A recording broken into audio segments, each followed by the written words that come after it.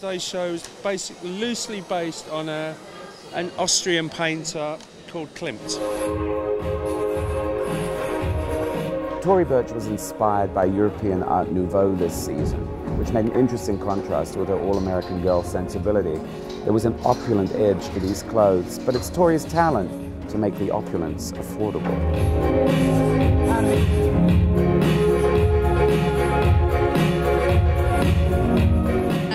Fan of Art Nouveau and I love Klimt's work. So it was really just looking at some of his works, seeing how much depth and texture and, and layering of color and embellishment. So it was really about the special detailing.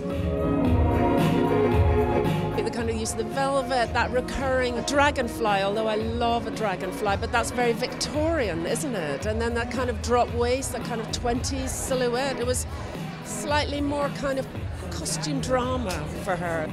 We wanted it to be about the detailing and opulent, but not too opulent. So it's sort of that that balance of high, low, and and taking fabrics and then mixing sort of lurex in them that are a traditional just tweed. So we wanted to experiment with textures and mixing unusual things.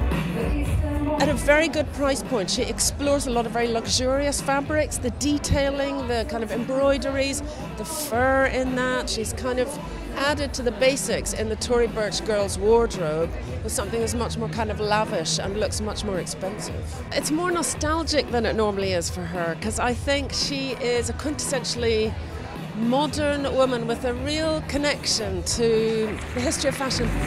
For me, I mean, women are so busy, so I thought it'd be interesting to offer this idea of 24 hour dressing and, and really have special pieces that they can take and wear during the day, but really just take them into the evening.